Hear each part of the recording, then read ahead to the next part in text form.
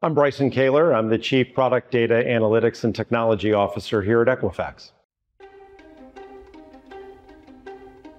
Look, I think, you know, it's important to take risks. One of my favorite sayings is safe is risky. And I think that companies that play it safe in the long haul end up getting outplayed. And I think that playing it safe is a risky decision. It's a mindset. You got to really think about that for a minute. And obviously, our job is to make calculated decisions, calculated risks. Here at Equifax, we're a decision intelligence company. Our job is to help people make less risky decisions, right? Or balance the risk in a way that they're comfortable.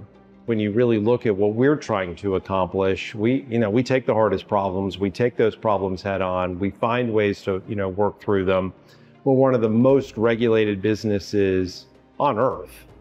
And we've gotten all of our customers and all of our regulators and our data into public cloud environment.